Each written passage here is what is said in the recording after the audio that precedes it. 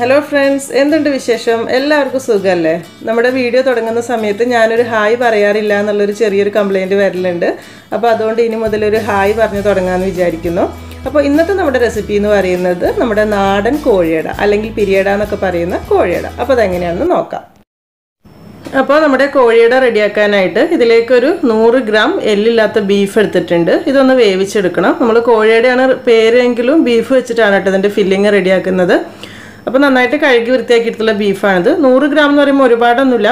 ഏകദേശം ഈ ഒരു വലിപ്പത്തിൽ വരുന്ന ഒരു ഏഴെട്ട് പീസ്. ഇനി നിങ്ങൾക്ക് ബീഫിന്റെ അളവ് കൂടുതൽ വേണമെന്നുണ്ടെങ്കിൽ അത്രയ്ക്ക് എടുക്കാം. ഇതൊരു പ്രഷർ കുക്കറിലേക്ക് ഇട്ട് കൊടുത്തിട്ടുണ്ട്. ആദ്യം ഇതിലേക്കൊരു അര ടീസ്പൂണിന്റെ അടുത്ത് മഞ്ഞൾപ്പൊടി ഇട്ട് കൊടുക്കാം. ഒരു അര ടീസ്പൂൺ മുളക് പൊടി. അര ടീസ്പൂൺ മല്ലിപ്പൊടി. ബീഫിലേക്ക് ആവശ്യമായിട്ടുള്ള കുറച്ച് ഉപ്പ് കൂടെ ഈ സമയത്ത് ഇട്ട് കൊടുക്കണം.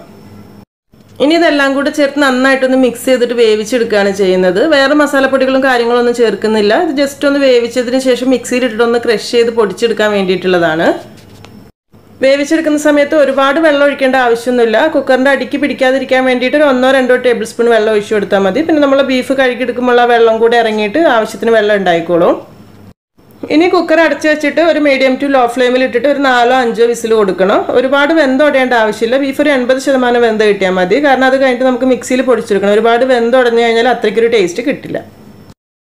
ഇപ്പോൾ വിസിലൊക്കെ വന്നു കഴിഞ്ഞ് ഗ്യാസൊക്കെ ഓഫ് ചെയ്തിട്ടുണ്ടായിരുന്നു. പ്രഷറൊക്കെ ഫുള്ള് പോയിട്ടുണ്ട്.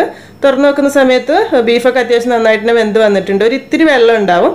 അപ്പം ഈ ഒരു വെള്ളം നമുക്ക് വേണമെന്നുണ്ടെങ്കിൽ ഇതിൽ തന്നെ വെച്ച് വെച്ചൊന്ന് വറ്റിച്ചെടുക്കുകയാണെങ്കിൽ ബീഫിന് കുറച്ചുകൂടി ടേസ്റ്റ് കൂടുതൽ കിട്ടും. അല്ലാന്നുണ്ടെങ്കിൽ ഇത് തണുത്ത് കഴിയുമ്പോൾ ബീഫ് മാത്രം എടുത്തിട്ട് മിക്സിയിലിട്ടൊന്ന് പൊടിച്ചെടുത്താലും മതി. ഞാനിപ്പോൾ ഇവിടെ ഈ ഒരു കുക്കറിൽ വെച്ചിട്ട് തന്നെ ഈ വെള്ളം നന്നായിട്ടൊന്ന് വറ്റിച്ചെടുക്കുന്നുണ്ട്. അത്യാവശ്യം ഇപ്പോൾ ഒന്ന് നന്നായിട്ട് വറ്റി വരുന്ന സമയത്ത് ഇതിലേക്കൊരു ഒരു ടീസ്പൂൺ വെളിച്ചെണ്ണയോ ഓയിലോ എന്തെങ്കിലും ഒരു ഇത്തിരി ഒഴിച്ചു കൊടുത്തിട്ട് ഒന്നുകൂടെ ഒന്ന് വറ്റിച്ചെടുക്കാനും കുറച്ചുകൂടി ടേസ്റ്റ് കൂടുതൽ കിട്ടും. നിർബന്ധമില്ല കേട്ടോ. വെളിച്ചെണ്ണ ഒഴിക്കണം എന്നുള്ള നിർബന്ധമില്ല. ഈ ഒരു സ്റ്റേജിൽ തന്നെ തണുക്കുമ്പോൾ പറഞ്ഞല്ലോ അതൊന്ന് പൊടിച്ചെടുത്താൽ മതി. പക്ഷേ വേണമെങ്കിൽ ഒരു ഒരു ടേബിൾ സ്പൂണിന്റെ അടുത്ത് വെളിച്ചെണ്ണ ഒഴിച്ചു കൊടുക്കുകയാണെങ്കിൽ ഏകദേശം ചെറുതായിട്ടൊന്ന് ഫ്രൈ ആവുന്ന പോലെ ആയി കിട്ടും. ചെറിയ തീയിൽ വെച്ച് കൊടുക്കുകയാണെങ്കിൽ. ഇപ്പോൾ ബീഫ് ഇവിടെ റെഡി ആയിട്ടുണ്ട്. ഇതിന് ചൂടാറുന്ന സമയത്ത് മിക്സിയിൽ ചെറിയ ജാറിലിട്ടിട്ട് ഒരു ഒന്ന് രണ്ട് പ്രാവശ്യം ഒന്ന് കറക്കിയെടുക്കുക. കൂടുതൽ അടിച്ചു കഴിഞ്ഞാൽ ഭയങ്കരമായിട്ട് പൊടിഞ്ഞു പോകും. അത്രയ്ക്ക് പൊടിയേണ്ട ആവശ്യമില്ല ചെറുതായിട്ടൊന്ന് വിപ്പ് ചെയ്തിട്ട് ഒരു സൈഡിലേക്ക് മാറ്റി വെക്കാം. ഇനി മസാല റെഡിയാക്കാനായിട്ട് ഒരു പാൻ വെച്ച് ചൂടാക്കി അതിലേക്കൊരു ഒന്നോ രണ്ടോ ടേബിൾ സ്പൂൺ ഓയിലോ അല്ലെങ്കിൽ വെളിച്ചെണ്ണയോ ഒഴിച്ചു കൊടുക്കാം. വെളിച്ചെണ്ണ ചൂടായി വരുന്ന സമയത്ത് ഇതിലേക്ക് ഒരു ടേബിൾ സ്പൂൺ ഇഞ്ചി ചെറുതായി മുറിച്ചതും ഒരു ടീസ്പൂൺ വെളുത്തുള്ളി ചെറുതായി മുറിച്ചതും കൂടി ഇട്ട് കൊടുത്തിട്ട് ഒന്നങ്ങ് മൂപ്പിച്ചെടുക്കണം. ഇതിന്റെ കൂടെ തന്നെ എരിവിന് ആവശ്യമായിട്ട് ഒന്നോ രണ്ടോ പച്ചമുളക് എരിവ് നോക്കിയിട്ട് ആവശ്യത്തിനുള്ളത് കൂടി ഇട്ട് കൊടുക്കാം. ഇഞ്ചി വെളുത്തുള്ളിയൊക്കെ ആ ഒരു പച്ചമണം മാറി വരുന്ന സമയത്ത് ഇതിലേക്കൊരു മൂന്ന് മീഡിയം സൈസുള്ള സവാളയാണ് നമ്മൾ ചേർത്ത് കൊടുക്കുന്നത്. ഇതുപോലെ ചെറുതായിട്ടാണ് ഇത് മുറിച്ചെടുത്തിട്ടുള്ളത്. ഈ സമയത്ത് ഇതിന്റെ കൂടെ ഇതിലേക്ക് ഒരു ഇത്തിരി കറിവേപ്പില കൂടെ ചേർത്ത് കൊടുക്കുന്നുണ്ട്. ഉള്ളി വഴറ്റുന്ന സമയത്ത് തന്നെ. കറിവേപ്പില എടുക്കുന്ന സമയത്ത് ഇതുപോലെ കുറച്ച് ചെറുതായിട്ട് മുറിച്ചിടുക. അല്ലെങ്കിൽ നമ്മൾ മസാല അടയുടെ ഉള്ളിലേക്ക് വെക്കുന്ന സമയത്ത് പുറത്തു പോകാനുള്ള ചാൻസ് ഒക്കെ ഉണ്ട്. അപ്പോൾ ഇതുകൂടെ ചേർത്തിട്ട് വേണം നന്നായിട്ട് വഴറ്റിയെടുക്കാനായിട്ട്. ഉള്ളി ഒരുപാട് വഴന്ന് ഗോൾഡൻ ബ്രൗൺ കളർ ആവേണ്ട ആവശ്യമൊന്നുമില്ല. ചെറുതായിട്ടൊന്ന് കടിക്കുന്ന രീതിയിൽ തന്നെയാണ് ഇതിന് മസാലയാക്കുമ്പോൾ ടേസ്റ്റ് ഉണ്ടാവുക. ഏകദേശം ഈ ഒരു കളറിലൊക്കെ ആയി കിട്ടിയാൽ മതി. എന്താണെന്ന് വെച്ചാൽ ഒരുപാട് ഉള്ളി വഴറ്റും തോറും നമ്മുടെ മസാലയുടെ അളവ് കുറഞ്ഞു പോകും. അപ്പോൾ നമ്മൾ കുറേ കോഴിയുടെ ഒക്കെ ഉണ്ടാക്കുകയാണ് ഫംഗ്ഷനൊക്കെ വേണ്ടി ഉണ്ടാക്കുകയാണെന്നുണ്ടെങ്കിൽ ഉള്ളി ചെറുതായിട്ടൊന്ന് വഴറ്റിയാൽ മതി കേട്ടോ. അപ്പോൾ അങ്ങനെ ആകുമ്പോൾ നമുക്ക് മസാലേന്റെ അളവ് കുറച്ച് കൂടുതൽ കിട്ടും. ഇനി ഇതിലേക്കൊരു അര ടീസ്പൂൺ മഞ്ഞൾപ്പൊടി ഇട്ടിട്ട് ഒന്ന് വഴറ്റിയെടുക്കുക ഒരുപാട് മസാലപ്പൊടികളൊന്നും ചേർക്കുന്നില്ല. രണ്ട് മൂന്ന് മസാലകൾ ഞാൻ ചേർക്കുന്നുള്ളൂ. കുറച്ച് മഞ്ഞൾപ്പൊടി ഇത്തിരി ഗരം മസാല പിന്നെ ഒരു ഇത്തിരി ബീഫ് മസാല കൂടിയേ ചേർക്കുന്നുള്ളൂ.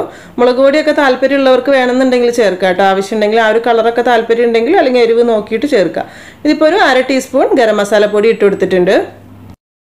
പിന്നെ ഒരു ഒരു ടീസ്പൂൺ ബീഫ് മസാല അല്ലെങ്കിൽ മീറ്റ് മസാല ഇനി ചിക്കൻ മസാല ആണെങ്കിലും വലിയ കുഴപ്പമില്ല. ഇതുണ്ടെങ്കിൽ കുറച്ച് നല്ല ടേസ്റ്റ് ആണ്. ഇല്ലെങ്കിൽ കുഴപ്പമില്ല. ഒരു ഇത്തിരി മല്ലിപ്പൊടി ഇട്ട് കൊടുക്കുക. അതിന്റെ കൂടെ കുറച്ചുകൂടെ ഗരം മസാല പൊടി ചേർത്ത് കൊടുത്താലും മതി.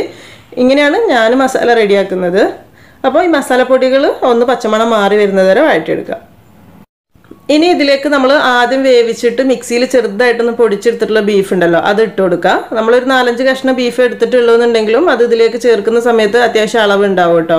കറക്റ്റ് നമ്മൾ എടുത്തിട്ടുള്ള ഒരു ഉള്ളിയിലേക്ക് മിക്സ് ചെയ്തെടുക്കാനായിട്ടുണ്ടാവും. ഇനി ഇതൊരു ചെറിയ തീയിലിട്ടിട്ട് ഒരു രണ്ട് മൂന്ന് മിനിറ്റ് ഒന്ന് അങ്ങ് വഴറ്റിയെടുക്കുകയാണെങ്കിൽ നല്ലതാണ്. ബീഫ് അത്യാവശ്യം നന്നായിട്ടൊന്ന് മിക്സ് ചെയ്ത് വരും. ഒരുപാട് ഫ്രൈ ആവുന്ന പോലെ ഒന്നും ആവണ്ട. ഉള്ളിയും ബീഫും കൂടെ നന്നായിട്ടൊന്ന് മിക്സ് ആയി കിട്ടിയാൽ മതി. നമ്മൾ ഈ മസാലയിലേക്ക് മുളക് പൊടി ചേർക്കാത്തത് കൊണ്ടാണ് കേട്ടോ. ഇതിന് ഈ ഒരു കറുത്ത കളർ പിന്നെ അതുമല്ല ബീഫ് അത്യാവശ്യം ഒരു ഫ്രൈ ആവുന്ന പോലെ ആക്കിയിട്ടുണ്ടായിരുന്നില്ല. അതുകൊണ്ടാണ് അപ്പോൾ കളറിൽ മാറ്റം വേണമെന്നുണ്ടെങ്കിൽ നമുക്ക് മുളക് പൊടിയൊക്കെ ചേർത്ത് മാറ്റം വരുത്താവുന്നതേ ഉള്ളൂ. പിന്നെ കോഴിയുടെ എന്നൊക്കെ പറയുമ്പോൾ ഈ ഒരു കളറിലായിരിക്കും കുറച്ചുകൂടെ നല്ലതെന്ന് തോന്നുന്നു. ലാസ്റ്റ് ഇനി ഇതിലേക്ക് മല്ലിയില കയ്യിലുണ്ടെന്നുണ്ടെങ്കിൽ ഒരു ഒന്നോ രണ്ടോ ടേബിൾ സ്പൂൺ മല്ലിയില വളരെ ചെറുതായി മുറിച്ചതോടെ ഇട്ട് കൊടുക്കുകയാണെങ്കിൽ നല്ലതാണ്. മല്ലിയില ഇല്ലെങ്കിലും കുഴപ്പമൊന്നുമില്ല. അപ്പോൾ ഇതുകൂടെ ചേർത്ത് മിക്സ് ചെയ്തിട്ട് നമുക്കിത് അടച്ചു വെക്കാം. ഇനി ഇത് ഗ്യാസൊക്കെ ഓഫ് ചെയ്തിട്ട് ഒന്ന് അടച്ചൊരു സൈഡിലേക്ക് എടുത്തു വെക്കാം. ഇതിലേക്കുള്ള ബാക്കി കാര്യങ്ങൾ റെഡിയാക്കാം. മാവ് കുഴച്ചെടുക്കാനായിട്ട് ഒരു ബൗളിലേക്ക് ഒരു കപ്പ് മൈദ എടുക്കുന്നുണ്ട്. ഒരു ഒന്നര ടേബിൾ സ്പൂണിന്റെ അടുത്ത് കോൺഫ്ലോർ കൂടെ ചേർത്ത് കൊടുക്കുന്നുണ്ട്. കോൺഫ്ലോർ ഇല്ലെങ്കിലും കുഴപ്പമില്ല. പക്ഷെ ഉണ്ടെങ്കിൽ നമ്മളെ കോഴിയടിക്ക് കുറച്ചുകൂടി നല്ലൊരു ക്രിസ്പി കിട്ടും. പിന്നെ കുഴയ്ക്കാനും പരത്താനും ഒക്കെ കുറച്ചുകൂടി നന്നായിരിക്കും. അപ്പോൾ ഇല്ലെങ്കിലും കുഴപ്പമൊന്നുമില്ല കേട്ടോ. നമ്മൾ സാധാരണ ഉണ്ടാക്കുമ്പോൾ എടുക്കാറില്ല. പക്ഷെ ഇങ്ങനെ ഉണ്ടെങ്കിൽ കുറച്ചുകൂടെ നന്നായിരിക്കും. ഇതിലേക്ക് ആവശ്യമായിട്ടുള്ള കുറച്ച് ഉപ്പ് ഇട്ട് കൊടുക്കാം. ഇനി ഇതെല്ലാം കൂടി ചേർത്തിട്ട് നന്നായിട്ടൊന്ന് മിക്സ് ചെയ്ത് യോജിപ്പിച്ചെടുക്കാം. പണ്ട് മുതലേ നമ്മൾ കോഴിയട എന്ന് പറയുമ്പോൾ എപ്പോഴും മൈദ വെച്ചിട്ടാണ് ചെയ്യുന്നത്. പിന്നെ തീരെ മൈദ ഉപയോഗിക്കാൻ പറ്റാത്തവർ അല്ലെങ്കിൽ ഉപയോഗിക്കാത്തവർക്കൊക്കെ വേണമെന്നുണ്ടെങ്കിൽ ഗോതമ്പ് പൊടി വെച്ചിട്ടും ചെയ്യാം. പക്ഷേ ഇതായിരിക്കും കേട്ടോ കുറച്ചുകൂടി ടേസ്റ്റ് ഉണ്ടാവുക. ഇനി ഇത് കുഴച്ചെടുക്കണം. അതിനായിട്ട് ഞാനിവിടെ അത്യാവശ്യം നല്ല ചൂടുവെള്ളമാണ് എടുത്തിട്ടുള്ളത്. വെട്ടി തളിക്കുന്ന വെള്ളമല്ല എന്നാൽ അത്യാവശ്യം നല്ല ചൂടുണ്ട് താനും. അപ്പോൾ വെള്ളത്തിന്റെ അളവ് എന്ന് പറയുന്നത് ഒരു അരക്കപ്പ് വെള്ളം എടുത്തിട്ടുണ്ട്. നോക്കിയിട്ട് ഒഴിച്ചാൽ മതി. എപ്പോഴും ഒന്നിച്ച് ഒഴിക്കേണ്ട. ആവശ്യത്തിന് നോക്കി ഒഴിച്ച് കുഴച്ചെടുക്കാം. വെള്ളം ഒഴിച്ച് ഒന്നങ്ങ് മിക്സ് ചെയ്ത് നോക്കുന്ന സമയത്ത് നമുക്ക് മനസ്സിലാവും എത്രത്തോളം വെള്ളം വേണമെന്നുള്ളത്. ഭയങ്കര ടൈറ്റ് ആവരുത്. ഭയങ്കര ടൈറ്റ് ആയി കഴിഞ്ഞാൽ പ്രശ്നം എന്ന് വെച്ചാൽ നമ്മൾ പരത്താനും ബുദ്ധിമുട്ടായിരിക്കും. പിന്നെ ഫ്രൈ ചെയ്തെടുത്താലും ഭയങ്കര ബലമായിരിക്കും. ഭയങ്കര കടിച്ച് പറിക്കേണ്ട ഒരു ടൈപ്പായി പോകും. അത്യാവശ്യം നല്ല സോഫ്റ്റ് ആണ്. പിന്നെ ഒരുപാട് വെള്ളം കൂടാനും പാടില്ല. ഭയങ്കരമായിട്ട് ലൂസായി കഴിഞ്ഞാൽ എണ്ണ ഓയിൽ കൂടുതൽ കുടിക്കാനുള്ള ചാൻസ് ഉണ്ട്. അപ്പോൾ അത് നോക്കിയിട്ട് അത്യാവശ്യം നല്ലൊരു മായത്തിൽ നനച്ചെടുത്തിട്ട് നന്നായിട്ടൊന്ന് കുഴച്ചെടുക്കുക.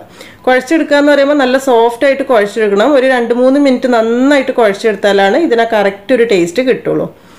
ഇപ്പോൾ ഇവിടെ നമ്മൾ നന്നായിട്ട് കുഴച്ചെടുത്തിട്ടുണ്ട്. ഇത് നോക്കുന്ന സമയത്ത് കൈ കൊണ്ട് ഇങ്ങനെ ആക്കുമ്പോൾ നല്ല സോഫ്റ്റ് ആയിരിക്കണം. അപ്പോഴാണ് നമ്മൾ കോഴിയുടെ നല്ല മായവും ഉണ്ടാവും നല്ല ക്രിസ്പിയിലും കിട്ടും. ഇതാ ഇതുപോലെ. ഇനി ഇത് റെസ്റ്റ് ചെയ്യാൻ വേണ്ടി വെക്കേണ്ട ആവശ്യമൊന്നുമില്ല. ഇപ്പോൾ തന്നെ പരത്തി ചുട്ടെടുക്കാവുന്നതാണ്. പരത്തുന്ന സമയത്ത് ഈ ഒരു മാവിനെ ഒരു രണ്ടോ മൂന്നോ ഭാഗമാക്കി എടുത്തിട്ട് ഒരു രണ്ട് മൂന്ന് പ്രാവശ്യമായിട്ട് പരത്തി എടുക്കണം ഒരു ഇത്തിരി മൈദപ്പൊടി ഇട്ട് കൊടുത്തിട്ടാണ് ഇത് പരത്തി എടുക്കുന്നത് ഇപ്പോൾ കൗണ്ടർ ടോപ്പിലൊക്കെ ഇട്ട് പരത്തി എടുക്കുകയാണെങ്കിൽ എല്ലാം കൂടെ ഒന്നിച്ച് വലുതാക്കി പരത്തി എടുക്കുക നമ്മൾ എപ്പോഴും മാവ് എടുക്കുന്ന സമയത്ത് നമ്മൾ ചപ്പാത്തി പലയ്ക്ക് എത്ര വലിപ്പമുണ്ട് അതനുസരിച്ചിട്ട് വേണം എടുക്കാൻ വേണ്ടിയിട്ട്. മാക്സിമം കഴിയുന്നതും പൊടി കുറയ്ക്കാനായിട്ട് നോക്കുക. അല്ലെങ്കിൽ ഇത് എണ്ണയിലിട്ട് ഫ്രൈ ചെയ്യുന്ന സമയത്ത് എണ്ണ പെട്ടെന്ന് കരിഞ്ഞു പോകും. പൊടി ഒരുപാടായി കഴിഞ്ഞാൽ ഇപ്പോൾ നന്നായിട്ട് കനം കുറച്ച് പരത്തിയിട്ടുണ്ട്. ഇതുപോലെ ഒരു ഗ്ലാസ്സോ കുപ്പിയുടെ അടപ്പോ എന്തെങ്കിലും വെച്ചിട്ട് ചെറുതായിട്ടൊന്ന് മുറിച്ചെടുക്കുക. വലിയത് വേണമെന്നുണ്ട് വലിയ അട വേണമെന്നുണ്ടെങ്കിൽ വലിയൊരു കുപ്പിയുടെ അടപ്പൊക്കെ എടുക്കുകയാണെങ്കിൽ നന്നായിരിക്കും. അപ്പോൾ ചെറുതാണ് കാണാൻ ഭംഗി. അപ്പോൾ നിങ്ങൾക്ക് എങ്ങനെയാണ് താല്പര്യം എന്നുണ്ടെങ്കിൽ അതുപോലെ ചെയ്തെടുക്കാം. നമ്മളിത് പരത്തിയെടുക്കുന്നത് ഇത്രയ്ക്ക് കനം വരാൻ പാടില്ല. ഒരുപാട് കട്ടി കൂടി കഴിഞ്ഞാൽ ഫ്രൈ ചെയ്തെടുക്കുന്ന സമയത്ത് നിന്ന് അത്രയ്ക്ക് ടേസ്റ്റ് കിട്ടില്ല. ഇനി ഇതിന്റെ ഉള്ളിലേക്ക് ഒരു ഒരു ടീസ്പൂണ് മസാല വെച്ച് കൊടുക്കുക. വളരെ ചെറുതായതുകൊണ്ട് തന്നെ കുറച്ച് മസാല വെച്ച് കൊടുത്താൽ മതിയാവും ഒരുപാട് നിറച്ച് വെച്ച് കഴിഞ്ഞാൽ ചിലപ്പോൾ പുറത്തേക്ക് ഇങ്ങനെ തള്ളി വരാനുള്ള ചാൻസ് ഉണ്ട്. മസാല വെച്ച് കഴിഞ്ഞിട്ട് വിരൽ വെച്ച് ഒന്നങ്ങ് പ്രസ് ചെയ്ത് കൊടുക്കുകയാണെങ്കിൽ നന്നായിരിക്കും. ഇനി ഇതിന്റെ രണ്ട് സൈഡ് കൂടെ ഇങ്ങനെ കൂട്ടി പിടിച്ചിട്ട് ഒന്നങ്ങ് ഒട്ടിച്ചു കൊടുക്കുക. വെള്ളം ഒന്നും വേണ്ടി വരില്ല. മൈദയാണല്ലോ അപ്പോൾ അത് പെട്ടെന്ന് അങ്ങ് ഒട്ടിക്കോളൂ. രണ്ട് ഭാഗം ഇതുപോലെ അങ്ങ് ഒട്ടിച്ചു കൊടുക്കുക. ആദ്യത്തെ സ്റ്റെപ്പ് എന്ന് പറയുന്നത് ഇങ്ങനെ നന്നായിട്ടൊന്ന് ഒട്ടിച്ചു കൊടുക്കുക. അത് കഴിഞ്ഞിട്ടാണ് നമ്മൾ ഇതിന്റെ സൈഡ് പിരിച്ചെടുക്കുന്നത്. ഇങ്ങനെ ആക്കിയതിന് ശേഷം ഇതിന്റെ സൈഡ് ചെറുതായിട്ട് ഇങ്ങനെ ഒന്ന് പിരിച്ചു കൊടുക്കുക. അതായത് ഇതുപോലെ ചെറുതായിട്ട് ഒന്നങ്ങ് നുള്ളി എടുക്കുക അതങ്ങ് ഒട്ടിച്ചു കൊടുക്കുക. അതുപോലെ തന്നെ ഒരു ഇത്തിരി ഇത്തിരി എടുത്തിട്ട് ഇതിങ്ങനെ പിരിച്ചുണ്ടാക്കുന്നതുകൊണ്ടായിരിക്കും പിരിയട എന്നൊക്കെ പറയുന്നത് കേട്ടോ. നമ്മൾ ഓരോ നാട്ടിലും ഓരോ പേരാണ് പിരിയട കോഴിയട എന്നൊക്കെ പറയുന്നുണ്ട്. കോഴിയട എന്ന് നമ്മൾ പറയുന്നുണ്ടെങ്കിലും ശരിക്കും ഇതിന് ബീഫിന്റെ ഫില്ലിങ് വെക്കുമ്പോഴാണ് കേട്ടോ കുറച്ചുകൂടെ കൂടുതൽ ടേസ്റ്റ് വരുന്നത്. ചിക്കന്റെ ഫില്ലിങ് വെക്കാം പക്ഷെ അതിനേക്കാളും കൂടുതൽ ടേസ്റ്റ് പിന്നെ നമ്മൾ കോഴിയട എന്ന് പറയുന്നത് ആ ഒരു ഷേപ്പ് കൊണ്ടാണ് അതിന് കോഴിയട എന്ന് നമ്മൾ പണ്ട് മുതലേ പറഞ്ഞു വരുന്നത്. അപ്പോൾ ഞാൻ ഇങ്ങനെയാണിത് ചെറുതായിട്ട് സൈഡ് പിരിച്ചെടുക്കുന്നത്. ഓരോരുത്തർക്കും ഓരോ ഐഡിയ ഉണ്ടാവും പിരിച്ചെടുക്കാനായിട്ട്. അപ്പോൾ നിങ്ങൾക്ക് എങ്ങനെ എളുപ്പമെന്നുണ്ടെങ്കിൽ അങ്ങനെ ചെയ്തെടുക്കാം. ആദ്യമായിട്ടൊക്കെ ചെയ്യുന്നവർക്ക് ഒരു ഇത്തിരി ബുദ്ധിമുട്ടുണ്ടാവും ഇതുപോലെ സൈഡ് ഇങ്ങനെ പിരിച്ചെടുക്കാനായിട്ട്. പക്ഷെ ഒരു ഒന്ന് രണ്ടെണ്ണം ചെയ്ത് കഴിഞ്ഞാൽ നമുക്ക് ആ ഒരു എക്സ്പീരിയൻസ് കിട്ടും. വളരെ ഈസി ആയിട്ട് ഇത് ചെയ്തെടുക്കാനായിട്ട് പറ്റും. ഇങ്ങനെ ചെയ്തെടുക്കുമ്പോൾ കാണാനായിട്ട് നല്ല ഭംഗിയായിരിക്കും. ഇനി ഇങ്ങനെ ചെയ്യാൻ ബുദ്ധിമുട്ടുണ്ട് എന്നുള്ളവർക്ക് വേണമെങ്കിൽ ഇതാ ഇതുപോലെ ചെയ്താൽ മതി. ഇങ്ങനെ ആകുമ്പോൾ കുറച്ചുകൂടി എളുപ്പമായിരിക്കും. നമ്മൾ ആ പരത്തി വെച്ചിട്ടുള്ള പലകയിൽ വെച്ചിട്ട് തന്നെ എല്ലാത്തിന്റെ ഉള്ളിലേക്കും മസാല കുറച്ച് ഇട്ട് കൊടുക്കാം. എന്നിട്ട് ഇതിനിത് ഇവിടെ വെച്ചിട്ട് തന്നെ സൈഡ് ഒന്ന് അങ്ങോട്ട് മടക്കി കൊടുക്കുക. ആദ്യം ചെയ്ത പോലെ തന്നെ സൈഡ് വിരൽ വെച്ചിട്ട് ഒന്നങ്ങ് പ്രസ് ചെയ്ത് കൊടുക്കുക. ഇതുപോലെ. ഇനി ഇതുപോലെ ഒരു ഫോർക്ക് എടുത്തിട്ട് ഇതിന്റെ സൈഡ് ഒന്നങ്ങ് പ്രസ് ചെയ്ത് കൊടുക്കണം. നമ്മളിപ്പോൾ ആദ്യം പിരിച്ചെടുത്തല്ലോ. അതിന് പകരമായിട്ടാണ് അങ്ങനെ ചെയ്യുന്നത്. കാണാൻ നല്ല ഭംഗിയായിരിക്കും. പിന്നെ സൈഡ് ഒന്നുകൂടെ ഉറച്ച് കിട്ടുകയും ചെയ്യും. അപ്പോൾ നാട്ടിലൊക്കെ ആവുന്ന സമയത്ത് കോഴിയുടെ പിരിയട ഉണ്ടാക്കാനായിട്ട് ഒരു പ്രത്യേകിച്ച് അച്ഛൻ ഉണ്ട് ഇവിടെ ഉണ്ടോ എന്നുള്ളത് അറിയില്ല. എനിക്ക് കിട്ടിയിട്ടില്ല. അതാവുന്ന സമയത്ത് നമുക്ക് ഉണ്ടാക്കാനായിട്ട് എളുപ്പമാണ്. പിന്നെ അത് എണ്ണയിലിട്ട് ഫ്രൈ ചെയ്ത് കഴിക്കുന്ന സമയത്ത് നല്ല ടേസ്റ്റ് തന്നെയാണ്. സൈഡ് ഭാഗമൊന്നും ഒരുപാട് കട്ടി വെക്കുകയൊന്നുമില്ല ഏകദേശം ഈ ഒരു ഫോർക്ക് കൊണ്ട് പ്രസ് ചെയ്യുന്ന പോലെ തന്നെ ആയിരിക്കും അതും കാണാൻ. അപ്പോൾ അങ്ങനെ ഉണ്ടെന്നുണ്ടെങ്കിൽ അങ്ങനെ എടുക്കാവുന്നതേ ഉള്ളൂ. സത്യം പറഞ്ഞാൽ ഫോർക്ക് കൊണ്ട് പ്രസ് ചെയ്തെടുക്കുന്ന നല്ല എളുപ്പമുള്ള പരിപാടിയാണ് കേട്ടോ. നമ്മൾ പിരിച്ചെടുക്കുന്നതിനേക്കാളും എളുപ്പമാണ് പിന്നെ പിരിച്ചെടുത്തിട്ടുള്ള അട എന്ന് പറയുമ്പോൾ കാണാനൊരു ഭംഗി. കഴിക്കുന്ന സമയത്ത് ഇത് തന്നെയായിരിക്കും നല്ലത്. ഇപ്പോൾ ഒരു രണ്ട് ബാച്ച് പരത്തി റെഡിയാക്കി എടുത്തിട്ടുണ്ട്. ഇനിയും കുറച്ചുകൂടെ ചെയ്യാനുണ്ട്. നമ്മൾ ഈ ഒരു രീതിയിൽ റെഡിയാക്കുന്ന സമയത്ത് ശ്രദ്ധിക്കേണ്ട ഒരു കാര്യം എന്ന് വെച്ചാൽ സൈഡ് ഇങ്ങനെ പിരിച്ചെടുക്കുമ്പോൾ ഒരുപാട് കട്ടി കൂടി പോകരുത് ഭയങ്കര കട്ടി കൂടി കഴിഞ്ഞാൽ ഇങ്ങനെ ആകുമ്പോൾ കാണാൻ ഭംഗിയുണ്ടാകും പക്ഷെ കട്ടി കൂടി കഴിഞ്ഞാൽ എണ്ണയിലൊക്കെ ഇട്ട് ഫ്രൈ ചെയ്ത് കഴിക്കുന്ന സമയത്ത് അത് ഭയങ്കരമായിട്ട് ഇങ്ങനെ ഭയങ്കര കട്ടിയായിട്ട് തന്നെ തോന്നും. ഫ്രൈ ചെയ്യാൻ ആവശ്യത്തിനുള്ള ഓയിൽ ചൂടാക്കി എടുക്കുക എല്ലാ അടയും റെഡിയാക്കിയതിന് ശേഷം ഓയിൽ ചൂടാക്കിയാൽ മതി കേട്ടോ കാരണം നമ്മൾ ഒരു കപ്പ് വെച്ചിട്ടൊക്കെ ഉണ്ടാക്കുന്ന സമയത്ത് എല്ലാം റെഡിയാക്കിയതിന് ശേഷം തന്നെ ഓയിൽ ചൂടാക്കിയാൽ മതി. ഇത് പെട്ടെന്ന് തന്നെ എണ്ണയിലിട്ടാൽ ഫ്രൈ ആയി കിട്ടും ചെയ്യും. ഒരുപാട് സമയമൊന്നും വേണ്ടി വരില്ല ഓയിൽ അത്യാവശ്യം നല്ല ചൂടുള്ള സമയത്ത് വേണം ഇത് ഇട്ട് കൊടുക്കാൻ വേണ്ടിയിട്ട്. അത് കഴിഞ്ഞിട്ട് വേണമെങ്കിൽ തീ പതുക്കെ ഒന്ന് അങ്ങ് കുറച്ച് വെക്കാം. പെട്ടെന്ന് തന്നെ ഫ്രൈ ആയി കിട്ടും കേട്ടോ ഒരുപാട് സമയമൊന്നും വേണ്ട. വളരെ ചെറിയ തീയിലിട്ട് ഫ്രൈ ചെയ്യേണ്ട ആവശ്യമൊന്നുമില്ല. ഒരു മീഡിയം ഫ്ലെയിമിൽ തന്നെ ഇട്ട് ഫ്രൈ ചെയ്തെടുക്കുക. തിരിച്ചു മറിച്ചിട്ടിട്ട് പിന്നെ നമ്മളത് എണ്ണയിലേക്ക് ഇടുന്ന സമയത്ത് ആ ഒരു ചട്ടിയിൽ കൊള്ളുന്ന അത്ര എണ്ണ ഇടാം കേട്ടോ കുഴപ്പമൊന്നുമില്ല. എത്രയ്ക്ക് നമ്മൾ ആ ഒരു എണ്ണയിൽ എത്ര കൊള്ളൂ അതിനനുസരിച്ച് മൊത്തത്തിൽ ഇട്ട് കൊടുത്താലും കുഴപ്പമൊന്നും ഉണ്ടാവില്ല. അപ്പോൾ നമ്മളിപ്പോൾ റെഡിയാക്കിയിട്ടുള്ളത് ഒരു രണ്ട് ബാച്ചായിട്ടോ ഒരു മൂന്ന് ബാച്ചായിട്ടോ ഫ്രൈ ചെയ്യാനേ ഉണ്ടാവുള്ളൂ. ഇവിടെ ഇപ്പോൾ നമ്മൾ എടുത്തിട്ടുള്ള അളവ് വെച്ചിട്ട് ഒരു ഇരുപത്തേഴ് മുപ്പതിന്റെ ഉള്ളിൽ അട ഉണ്ടാക്കിയെടുക്കാനായിട്ട് പറ്റും. എടുക്കുന്ന വലിപ്പത്തിനനുസരിച്ചിട്ട്. ഇതിപ്പോൾ വളരെ ചെറിയ അടയാണ്. അപ്പോൾ നിങ്ങൾക്ക് ഏതാ താല്പര്യം വലിപ്പം എന്നുണ്ടെങ്കിൽ അത് വെച്ചിട്ട് ചെയ്യുക. ചെറുതാണ് കഴിക്കാൻ കൂടുതൽ ടേസ്റ്റ് ഉണ്ടാവുക. പിന്നെ നമ്മളിത് ഫ്രൈ ചെയ്യുന്ന സമയത്ത് ഇപ്പോൾ ഒരു കപ്പ് മൈദയൊക്കെ വെച്ച് ഉണ്ടാക്കുന്ന സമയത്ത് മുഴുവൻ അടയെ റെഡിയാക്കിയതിന് ശേഷം ഫ്രൈ ചെയ്യാൻ നിന്നാൽ മതി. കാരണം എണ്ണയിലേക്ക് ഇട്ടാൽ പെട്ടെന്ന് തന്നെ ഫ്രൈ ആയി കിട്ടുകയും ചെയ്യും. ബാക്കി റെഡി ആയിട്ടില്ലെങ്കിൽ പിന്നെ എണ്ണ വെറുതെ ചൂടാക്കി പിന്നെ ടൈം വേസ്റ്റ് ആയി പോകില്ലേ ഒരുപാട് ബ്രൗൺ കളർ ആവാൻ വേണ്ടി വെയിറ്റ് ചെയ്യേണ്ട ആവശ്യമൊന്നുമില്ല. ഈ ഒരു കളർ ആകുമ്പോൾ തന്നെ നമുക്കത് എണ്ണയിൽ നിന്ന് മാറ്റാം. പിന്നെ ആ ഒരു ചൂടിൽ ഇരുന്നിട്ട് കുറച്ച് കളർ മാറിക്കോളും. എണ്ണയിൽ നിന്ന് എടുക്കുന്ന സമയത്ത് തീ ഒന്ന് നന്നായിട്ട് കൂട്ടി വെക്കുകയാണെങ്കിൽ ആ ഒരു ഓയിൽ കുറച്ച് അങ്ങ് പോയി കിട്ടും. ഇപ്പോൾ നമ്മുടെ ആദ്യത്തെ ബാച്ച് റെഡി ആയിട്ടുണ്ട്. ബാക്കിയുള്ളത് ഇതുപോലെ തന്നെ റെഡി ആക്കി എടുക്കണം. ശരിക്കും ഈ ഒരു കോഴിയട എന്ന് പറയുന്നത് ഒരുപാട് ഓയിൽ കുടിക്കേ ഇല്ല കേട്ടോ. വളരെ കുറച്ച് ഓയിൽ മതിയാവും നമുക്കിത് ഫ്രൈ ചെയ്തെടുക്കാനായിട്ട്. അപ്പോൾ ഇനി ബാക്കിയുള്ള രണ്ട് ബാച്ച് ഇതുപോലെ തന്നെ ഫ്രൈ ചെയ്തെടുക്കാം. ഈ ഒരു കോഴിയട എന്ന് പറയുന്നത് ഒരു പുതുമയുള്ള റെസിപ്പി ഒന്നല്ല. പണ്ട് മുതലേ ആളുകൾ ചെയ്യുന്നത് തന്നെയാണ്. എന്നാലും നല്ല ശ്രദ്ധിച്ച് ചെയ്തിട്ടില്ല എന്നുണ്ടെങ്കിൽ ഇതുപോലെ നല്ല ക്രിസ്പി നല്ല സോഫ്റ്റിൽ കിട്ടില്ല. അത്രയേ ഉള്ളൂ. അപ്പോൾ അതുകൊണ്ടാണ് ഞാൻ കുറച്ച് എക്സ്പ്ലെയിൻ ചെയ്ത് പറഞ്ഞിട്ടുള്ളത്. ഇത് ശരിക്കും ചൂടോട് കൂടെ കഴിക്കുന്ന സമയത്ത് ഒരു പ്രത്യേക ടേസ്റ്റാണ് ശരിക്കും പറഞ്ഞാൽ എന്റെ ഏറ്റവും ഫേവറേറ്റ് ആയിട്ടുള്ള സ്നാക്കിൽ പെട്ടതാണ് ഈ ഒരു കോഴിയട എന്ന് പറയുന്നത്. നമ്മളെ വീട്ടിലൊക്കെ നോമ്പിന്റെ സമയത്തൊക്കെ എപ്പോഴും ഉണ്ടാക്കുന്ന ഒരു സ്നാക്ക് തന്നെയാണ്. വളരെ സിമ്പിളാണ് പക്ഷേ എന്തോ ഭയങ്കര ടേസ്റ്റുമാണ് അപ്പോൾ നിങ്ങളൊക്കെ ചെയ്തു നോക്കുന്നവർ തന്നെ ആയിരിക്കും എന്നാലും ചെയ്യാത്തവരുണ്ട് എന്നുണ്ടെങ്കിൽ ഈ ഒരു രീതിയിൽ ചെയ്ത് നോക്കിയിട്ട് ഫീഡ്ബാക്ക് ഒക്കെ അറിയിക്കുക. അതുപോലെ തന്നെ ഈ ഒരു വീഡിയോ ഇഷ്ടപ്പെട്ടിട്ടുണ്ടെങ്കിൽ എന്തായാലും ലൈക്ക് ചെയ്യാനും ഷെയർ ചെയ്യാനും പിന്നെ എപ്പോഴും പറയുന്ന പോലെ തന്നെ സബ്സ്ക്രൈബ് ചെയ്യാത്തവർ സബ്സ്ക്രൈബ് ചെയ്യാനും മറക്കരുതേ. താങ്ക്